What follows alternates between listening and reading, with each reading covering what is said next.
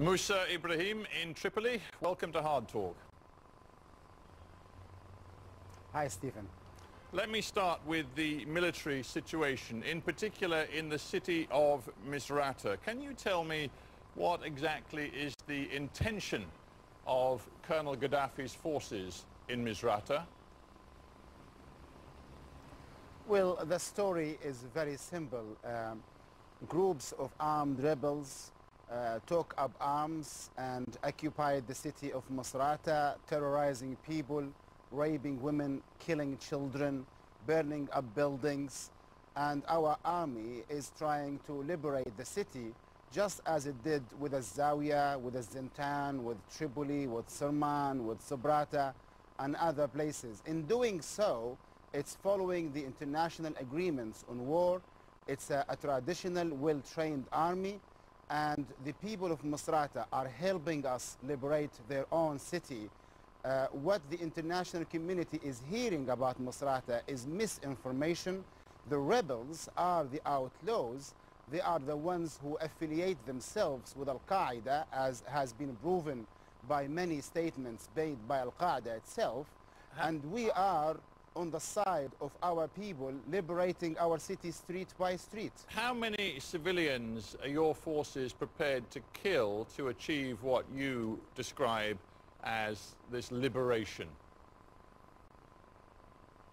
Our uh, forces uh, are composed of Libyan tribes. The Libyan tribes will never kill Libyan civilians because these civilians are the children of these very tribes. These uh, armed rebels are the ones who are prepared to kill civilians. Of course, there might have been some civilian casualties uh, due because the fight uh, uh takes place in the streets of Misrata as it uh, took place in the streets of Zawiya and Tripoli before. Yeah. Let, let, let me stop, let me stop you there, if, if never, I may. will never target children. Right. Well, let, us just unpick that a little bit. Of course, you don't live in Misrata. There are many people who do live in Misrata who have been explaining precisely what the situation is. Uh, for example, doctors at the hospital there have said that more than 250 people, including children and including women, have been killed in the last six weeks of fighting. They clearly believe that those people have been killed by Gaddafi's forces. They live there, you don't. Absolutely not. Uh, misinformation is the main mark of this war in Libya. We have asked again and again for two months now that international organizations, fact-finding missions, international observers to come through the doors of Tripoli and judge our action on the ground. No one cared to answer our call positively. Instead, they are dealing with the rebels and the areas controlled by the rebels, and they are believing the reports are conducted by the rebels. First of all, Stephen, the hospital of Misrata is out of work, out of service for two years now. The doctors there are part of the rebels group who are trying to give a bad image for Misrata to allow NATO to occupy the city under the humanitarian aid uh, pretext. Yes, uh, the, I the, challenge yeah, hang, hang, on, hang on. I, I, don't want to. Yeah, I don't want to leave our audience confused. You say the main hospital is closed. The fact is that there is at least one clinic operating where many of the dead and wounded have been taken, and we know from the words of doctors who work in those hospitals that, for example, only yesterday 17 dead bodies were taken to that institution. Uh, one young girl was shot dead a bullet in the head. This is the reality they are dealing with every day. Of course, Stephen, you will see people shot in the head and killed, and they look civilian, but they are not. You have to remember that we are not fighting a traditional army. You, you think we this little girl, this, this, this, little clothing. girl who had a bullet in the head, was she, was she, well, but the little girl that we you referred to in the well, question, was she, was she a military As combatant? I said before, Okay, I will give you a very simple and powerful answer to that. We are, the, not, the, we are not the only party who has arms in Misrata. We said to the international community, you have a little girl with a bullet in the head in Misrata. Why do you assume it's the army who killed the girl? There are hundreds of other people who have arms in Misrata and it's in their benefit to have NATO invading and occupying Misrata. It's in their benefit to have little girls shot dead, not in the benefit of the army. We have asked the United Nations officially, we have asked human rights officially, Amnesty International officially, to come from our side and observe the actions of our army. Do you know what the answer, Stephen? No, no one wants to come and investigate. People want to remain re reliant on media reports. Now, media reports are not worth anything in any court of law. Come judge us with experts on the ground. If I take you to Misrata, Stephen, you will not be able to decide how this girl was killed, what kind of bullet, where was she killed, how All long right. ago, what kind of ammunition. An expert, Mr. Stephen, an expert, will be able to do that and might decide indeed that the rebels are the ones who killed her. Yeah. Why is it that the international Wait. community does not want to help us decide the truth? Well, Mr. Ibrahim, you raised an interesting point there. You talk about your desire to see Amnesty International and other groups uh, pursuing human rights on the ground in Misrata. Of course, they have been on the ground. Amnesty International's Donatella Rovera says that she found, quote, from the, from several, side, several Stephen, bomblets and canisters side. all over the centre of town indicating the use of cluster bombs. Human Rights Watch also found clear evidence of mortar shells which were cluster projectiles made in Spain. They're called the MA, MAT 120 millimeter projectile. They use 21 little bomblets. The fragments go all over the place. And Human Rights Watch's Steve Goose said the use of these munitions is appalling. It poses a huge risk to civilians. That is reporting done by human rights groups on the ground in Misrata. Can I answer that, Stephen? Can I answer that? I have uh, called upon Human Rights Watch and other organizations for weeks now. I said to them, you are under the control of the rebels. You are seeing what the rebels are presenting to you within the areas they control. They can, and they indeed do, fabricate stories. They have people collaborating with them. They have very highly trained experts from Qatar, from Afghanistan, from Yemen, Iraq, and Egypt, helping them fabricate these stories. We say to them, why are you listening to one party? Come to listen to the story from the other side.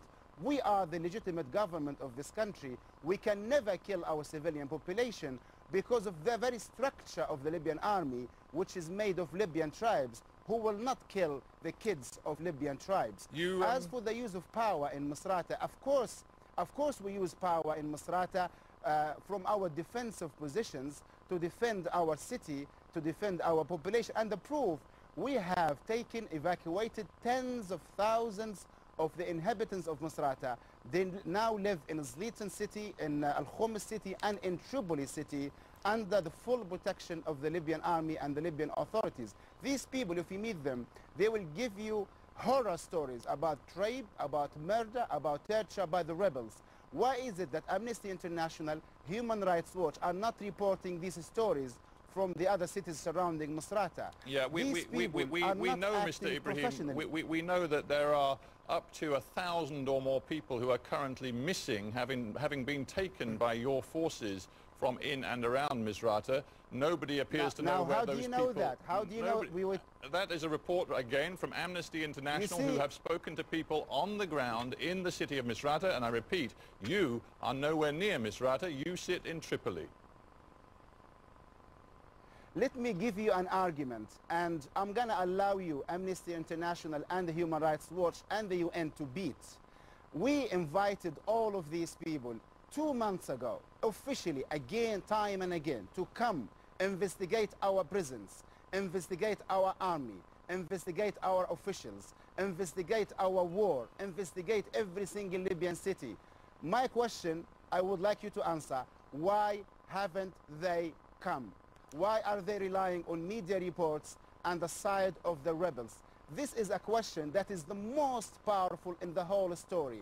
Yeah, Why well, is it we open Ibrahim, our doors you, you, seem no to be ignoring, to You seem to be ignoring my point that they already are there. They found their way into Misrata without going through your particular controls. That that is the point. But let's move on for a moment. There Stephen, may be there may be another there may be another problem here. It may be a credibility problem. It may be that over the last few weeks we've heard you time and again promise that humanitarian access will be given to Misrata over the land, which of course you've blocked for more than four weeks. It may be also that we've seen you and Mr. Gaddafi, your boss, pledge various times ceasefires, every one of which has not been kept. That may be the fundamental well, credibility problem. That's not true, Stephen. Uh, uh, look at what we did with the Red Cross, for example. The Red Cross came two days ago. We collaborated with them fully. They praised our collaboration. They opened an office in Tripoli and they visited Misrata already twice and they are intensifying their operation in Misrata with the help of the Libyan government. The UN they came only yesterday, after weeks of, of inviting them, uh, the uh, Office for the Coordination of Human, uh, Humanitarian Affairs. We fully collaborated with We signed an agreement with them, and they have started their work with the help of the Libyan government. So are, are, you, go, are you, going to, to open up? that okay. did not help any well, organization. That, that, that's an interesting and important point. Are you now going to open up land corridors into the middle of Misrata, right into oh. the port area, and are you going to allow a UN operation to set up an operation Stephen, inside the city? Stephen, come on, no one proved us as lying whatsoever because no one challenged, no one tested our statements. No one came until two days ago when the Red Cross came and yesterday when the UN came.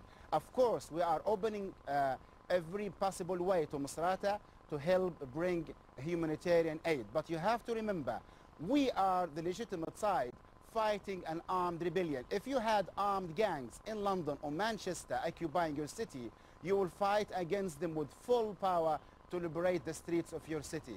This is not a political movement for democratic change. This is an armed rebellion to gain power and wealth in Libya. We are the people who want change in Libya.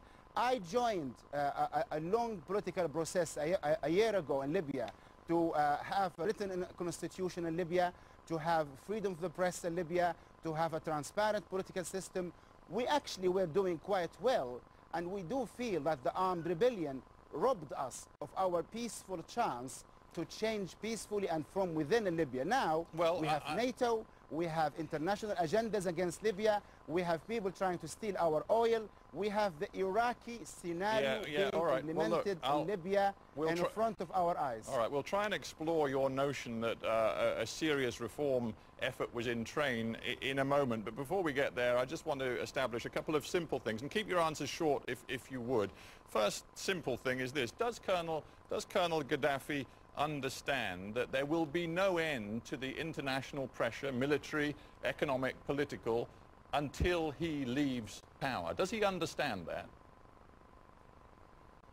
Well, how about this, Stephen? Why doesn't the international community understand that uh, they could easily end this by allowing the Libyan people to decide for themselves freely the type of political system and the leadership they want? We accepted the African Union initiative that says just that, while the international community or NATO preconditioned this initiative by asking the leader to step down. We are saying, who are you to precondition the Libyan choice? We say we accept elections, referendum, a transitional period, under the supervision of the UN, under the supervision of the African yeah, Union and the European Union, with, with respect, and Mr. let Ibrahim, the Libyan population change. You're not addressing my question, which is, does Gaddafi understand that now there is no option as far as the international community is concerned, and this isn't just Obama, Cameron and Sarkozy, it's also the Arab League, it's also actually chiefs of the African Union who, whom I've they? spoken Stephen, to. And all of them say they? that it's inconceivable now that there can be stability and reform in Libya until Gaddafi goes, and he must go.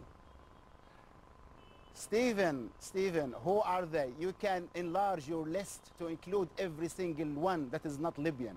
Who are they to decide the future of Libyans? The Libyan people, the six million Libyan populations, are the ones who have the right to decide their future. Not God, not Cameron, not anyone else, not Obama, not anyone, not the Arab League, the Libyan people. If the Libyan people want their dictator, if they love their killer and their, it's their choice. Let